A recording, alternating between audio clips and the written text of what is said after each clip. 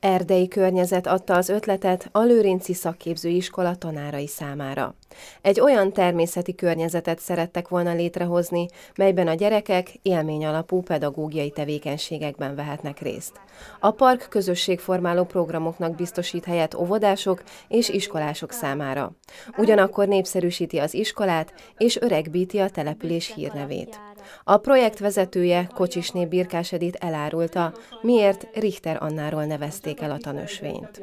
Amikor elolvastuk a, a kiírást, tehát hogy Richter Anna D, akkor ugye nekünk beugrott, hogy Richter Gedeon az, ő környékbeli, tehát Ecséden született, és az ő felesége volt Richter Anna, és egy kicsit utána jártunk, hogy ő milyen asszony volt, hogy milyen volt a család, hogy éltek, és azt gondoltuk, hogy mi is kitartóan szeretnénk dolgozni, kitartóan is dolgoztunk a tanösvényel, és ezután is az ő hitvallását szeretnénk mi is magunkévá tudni, hogy kitartóak legyünk, és ezt kívánjuk egyébként mindenkinek, mert Richter Anna ilyen volt. A park létrehozását megelőzően az iskola egy ökológiai tanulmányt készítetett azért, hogy az ember ne zavarhassa a növény- és állatvilágot.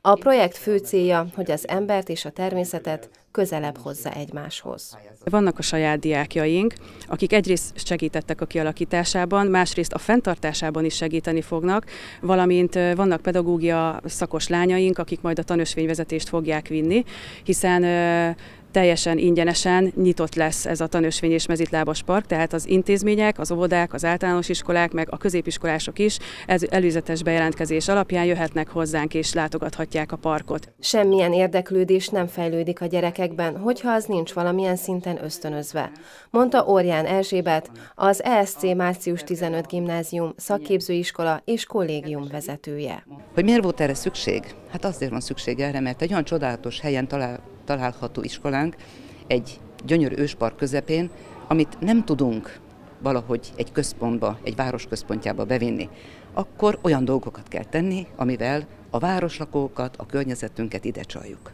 Hát egy nagy lehetőséget láttunk ebbe a tanos mezitlábas parkba, hiszen az általános iskolák, az óvodák voltak azok, akik elsőként jelezték, hogy egy hiánypótolunk azzal, ha mi ezt itt létrehozzuk. A tanúsvényt úgy alakították ki, hogy a természeti környezethez tökéletesen illeszkedik. Ebben a diákok, tanárok és civil szervezetek is segítkeztek. Gratulálok a kreatív ötlethez. Mindig az apró isteni szikrákból lesznek a nagy dolgok.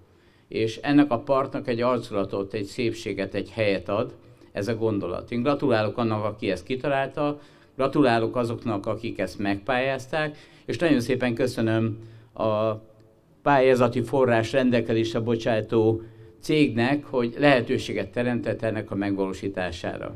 Hogy annyi pályázat körül éppen a mi pályázatunkat méltatta a legjobban, és adott hozzá forrást, hogy ezt meg tudjuk valósítani. Szabó Zsolt, 60 és Heves térség országgyűlési képviselője hozzátette.